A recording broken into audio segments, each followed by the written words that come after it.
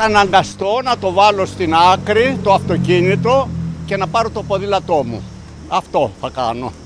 Ξεπέρασε τα 2 ευρώ η τιμή της απλής αμόλυβδης σε πρατήρια υγρών καυσίμων της ενδοχώρας της Κρήτης. Οι τέσσερις νόμοι του νησιού είναι μαζί με νησιά των κυκλάδων από τους ακριβότερους στη χώρα.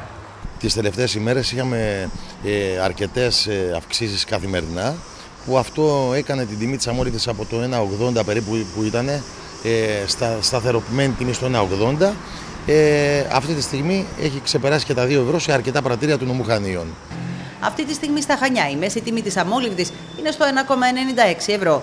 Σύμφωνα με το παρατηρητήριο τιμών καυσίμων του Υπουργείου Ανάπτυξης, στα Χανιά η απλή αμόλυβδη πωλείται προς 1,999 ένα λίτρο, στο Ρέθυμνο προς 2,018, στο Ηράκλειο και το Λασίθι 2,013 ένα λίτρο.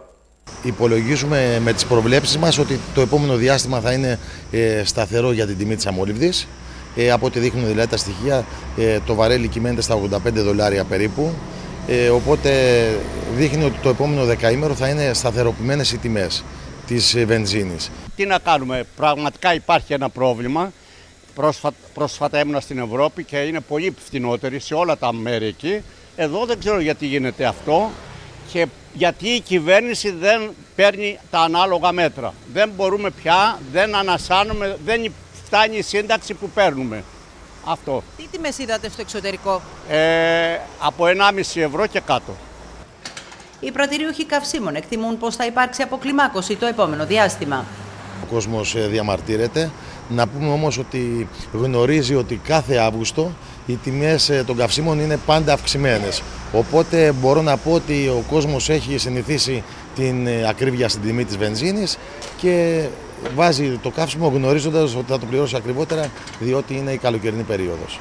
Εδώ είναι το κάτι άλλο και ειδικά στην Κρήτη αλλά και σε ορισμένα άλλα νησιά της Ελλάδος είναι πάνω από 2 και 20. Το έχω δει αυτό. Οι επαγγελματίες οδηγοί δέχονται τη μεγαλύτερη επιβάρυνση από την άνοδο των τιμών στα καύσιμα, ενώ οι καταναλωτές μιλούν για ένα ακόμα βάρος στις πλάτες τους, τονίζοντας ότι δεν μπορεί να καλούνται συνεχώς να περιορίζουν τις μετακινήσεις τους. Τις απαραίτητες όχι, δεν μπορούμε να τις κόψουμε. Θα περιορίσουμε κάτι έξτρα. Τις απαραίτητες όχι. Να κάνουμε. Θεωρείτε ότι είναι πολύ μεγάλη επιβάρυνση για ένα μέσο ελληνικό Είναι, είναι πολύ, είναι πολύ. Πάρα πολύ. Η Βέσπα τώρα που η τιμή της αμόλυβδης έχει ξεπεράσει τα 2 ευρώ; Α, τα ίδια είναι. Τα ίδια και η πολύ και αυτή. Η τιμή φαίνεται να βρίσκει ταβάνι στα 2,40 ευρώ το λίτρο στα νησιά, αφού είναι πολύ υψηλά τα κόστη όσον αφορά τους θαλάσσιους εφοδιασμούς για τα βενζινάδικα. Ενδεικτικά στην άξο η τιμή της βενζίνης ανέρχεται στα 2,20 ευρώ το λίτρο. Αυξητική είναι η τάση και για το πετρέλαιο κίνησης, με τη μέση τιμή του να διαμορφώνεται στο 1,75 ευρώ.